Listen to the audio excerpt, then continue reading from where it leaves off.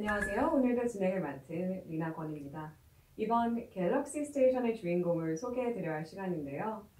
폭발력 있는 가창력과 마음을 울리는 탁월한 감성 그리고 아주 cute한 댄스 실력까지 갖춘 오늘은 가수이자 뮤지컬 배우인 정동하 씨와 함께합니다. 안녕하세요. 어, 저는 열심히 노래하고 그리고 가끔 연기도 열심히 하는 정동하입니다. 반갑습니다.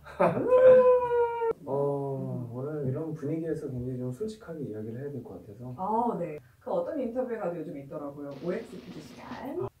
데뷔 후 헤어스타일을 한 번도 바꾸지 않는 건 나는 전략이다. Yes or no? OX.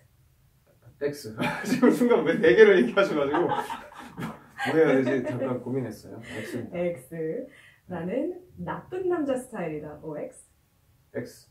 음, 확실하세요? 아이고 네.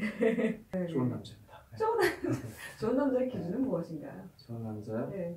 나쁜 네. 좋은 남자입니다. 네. 좋은 남자입니다. 기억이 안 나가지고 저기 숨어 있는 전장전장신 명장장경장장이 진짜 끝이 아니란 걸 끝이 아